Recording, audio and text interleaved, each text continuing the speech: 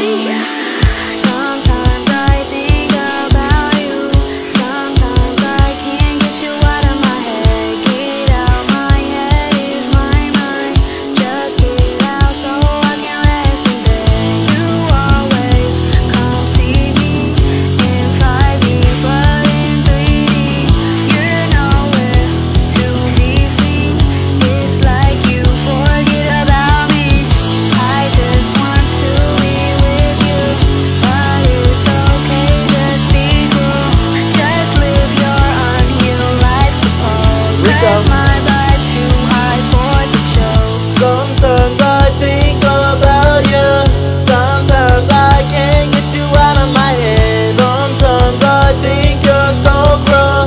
I am, still lying at the foot of your bed I remember that bed, you